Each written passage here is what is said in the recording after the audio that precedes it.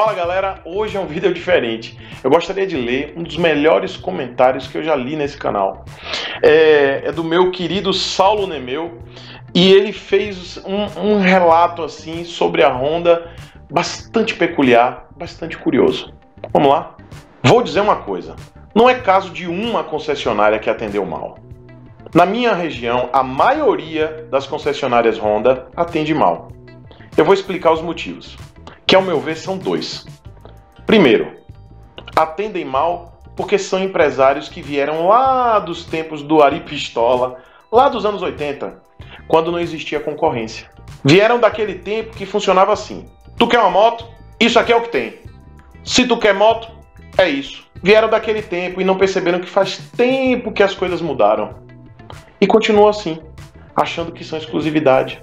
O segundo motivo como por muitos anos a dona Honda praticamente não teve concorrência no Brasil, eles têm uma vantagem histórica que acabou colocando concessionárias em todo o país. Difícil saber de uma cidade, por mais lazarenta que seja, que não tenha uma concessionária Honda.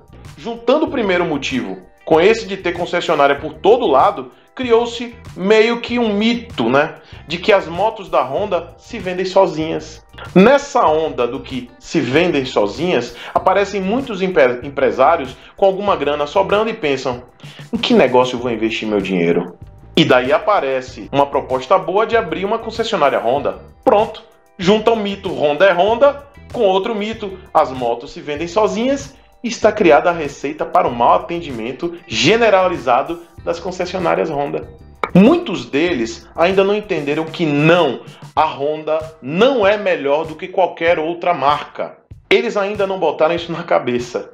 Aí aparece o consumidor consciente, que questiona, que quer preço, que quer qualidade. Aí eles ficam putinhos, tipo, como assim? Eu tenho que te atender? É uma Honda. A qualidade é absoluta. As motos estão ali, o preço está escrito em cima. É isso, não tem que questionar nada. É uma Honda. É assim que funciona. É assim que esses concessionários do tempo do EPA gostariam que fosse. Enfim, esse relato aqui, essa, esse relato magnífico do Saulo Nemeu me deixou extremamente sem palavras. E eu precisava fazer esse vídeo aqui para prestar essa homenagem a esse grande cara aqui, Saulo Nemeu, que resumiu toda a questão da Honda aqui no Brasil. Perfeito, Saulo Nemeu. Palmas para você. Um beijo.